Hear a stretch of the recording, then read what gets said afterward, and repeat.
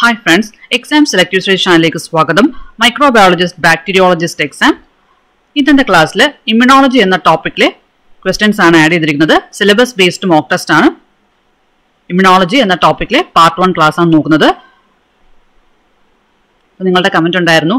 Immunology molecular biology എന്നീ ചാപ്റ്റേഴ്സിലെ statement level questions ഒക്കെ ഉൾപ്പെടുത്തിയിട്ട് ഒരു മോക്ക് ടെസ്റ്റ് ചെയ്യണമെന്ന് ഇമ്മ്യൂണോളജിയുടെ പാർട്ട് വൺ ക്ലാസ് ആയതുകൊണ്ട് സിമ്പിൾ ക്വസ്റ്റ്യൻസ് ആണ് ഉൾപ്പെടുത്തിയിരിക്കുന്നത്. അടുത്ത ക്ലാസ് തൊട്ട് statement well questions match the following questions ഒക്കെ ഉൾപ്പെടുത്തുന്നതാണ്. അപ്പോൾ ക്ലാസ്സുകളെല്ലാം കറക്റ്റായിട്ട് കിട്ടുന്നതിന് ചാനൽ സബ്സ്ക്രൈബ് ചെയ്യുക ക്ലാസ് ഇഷ്ടപ്പെട്ടാൽ ലൈക്ക് ചെയ്യുക നിങ്ങളുടെ അഭിപ്രായങ്ങൾ പറയുക. ആദ്യത്തെ ചോദ്യം. Doctor Ralph M Steinman was awarded Nobel prize for his discovery on options acquired immunological tolerance chemical structure of antibody role of dendritic cells in adaptive immunity none of the above. dr ralph m steinman was awarded nobel prize for his discovery on role of dendritic cells in adaptive immunity extra point നോക്കാം Ralph M. Steinman was awarded the 2011 Nobel Prize in Physiology or Medicine for his discovery of the dendritic cells and its role in adaptive immunity. അപ്പോൾ നിങ്ങൾ ഈ ക്വസ്റ്റിന്റെ answer വായിച്ചപ്പോൾ രണ്ട് term കണ്ടു dendritic cell and adaptive immunity എന്താണ് dendritic cell and adaptive immunity എന്ന് നോക്കാം Adaptive immunity, a type of immunity that develops when a person's immune system responds to a foreign substance or microorganism, such as after an infection or vaccination. Types of immunity അതൊരു ടൈപ്പാണ് adaptive immunity അതായത് ഒരു person acquire ചെയ്തിരിക്കുന്നത് അല്ലെങ്കിൽ adapt ചെയ്തെടുക്കുന്ന ഒരു വ്യക്തി adapt ചെയ്തെടുക്കുന്നത് അല്ലെങ്കിൽ അക്വയർ ചെയ്തിരിക്കുന്ന ഇമ്മ്യൂണിറ്റിനെയാണ് അഡാപ്റ്റീവ് ഇമ്മ്യൂണിറ്റി എന്ന് പറയുന്നത് a type of immunity that develops when a person's immune system responds to a foreign substance or microorganism such as after an infection or vaccination. Next term, dendritic cell, a special type of immune cell that is found in tissues such as the skin and boosts immune responses by showing antigens on its surface to other cells of the immune system. A dendritic cell is a type of phagocyte and type of antigen presenting cell APC. Full form ഒക്കെ പഠിച്ചു വെക്കുക antigen presenting cell A P C ഇതിപ്പോൾ part one class ആയതുകൊണ്ടാണ് simple explanations തരുന്നത്. അടുത്ത ക്ലാസ്സുകളിലൊക്കെ detailed explanations തരുന്നതാണ്. അടുത്ത ചോദ്യം. Secondary immune response is mediated due to presence of options memory cells naive B cells naive T cells natural killer cells secondary immune response is mediated due to presence of memory cells secondary immune response is mediated due to presence of memory cells അടുത്ത ചോദ്യം.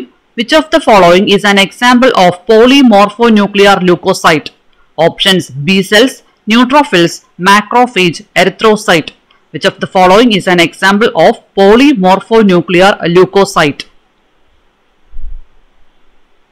answer neutrophils an example of polymorphonuclear leukocyte neutrophils extra point നോക്കാം എന്താണ് പോളിമോർഫോന്യൂക്ലിയർ leucocyte പോളിമോർഫോന്യൂക്ലിയർ leucocyte Is leukocyte is a type of white blood cell, white blood cell WBC.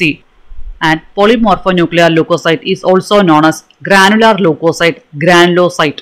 Example, neutrophils, eosinophils, basophils.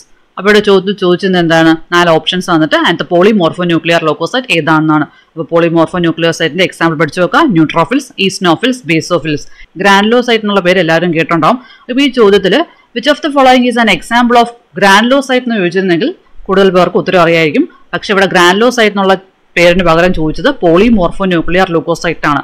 അപ്പോൾ ഗ്രാനുലോസൈറ്റിന്റെ മറ്റു പേരുകൾ എന്തൊക്കെയാണ്? Polymorphonuclear leukocyte granular leukocyte example neutrophils eosinophils basophils അടുത്ത ചോദ്യം. Which is the most potent immunogen for effective antibody generation option fats lipids nucleic acid proteins Which is the most potent immunogen for effective antibody generation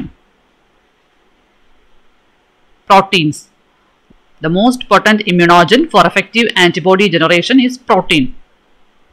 അടുത്ത ചോദ്യം a hapten such as two four dinitrophenol D N P is options antigenic but not immunogenic immunogenic but not antigenic both antigenic and immunogenic neither antigenic nor immunogenic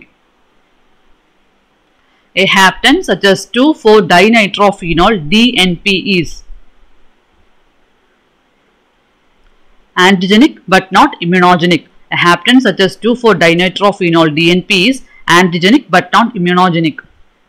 അടുത്ത ചോദ്യം which class of immunoglobulins will increase in case of a chronic infection options I G A I G M I G G I G E which class of immunoglobulins will increase in case of a chronic infection I G G I G G എന്ന് പറയുന്നത് immunoglobulin G the class of immunoglobulins will increase in case of a chronic infection immunoglobulin G types of immunoglobin ഉണ്ട് I G G ഉണ്ട് I G M ഉണ്ട് I G E ഉണ്ട് I G A ഉണ്ട്.